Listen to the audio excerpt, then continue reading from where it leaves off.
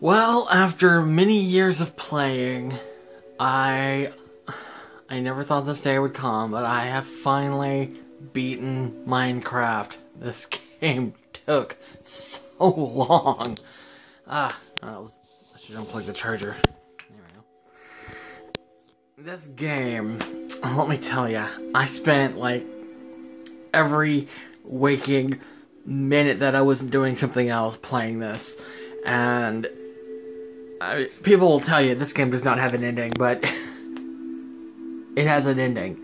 And let me tell you, the end was so sad. I did not see that coming. I don't want to spoil it for anyone who hasn't played it yet, but uh, um, yeah. Surprised that's not what people do on Tumblr.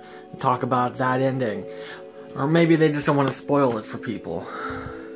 But uh, hopefully they make a sequel. I mean, it's kind of a cliffhanger, but it's a, it's a sad cliffhanger.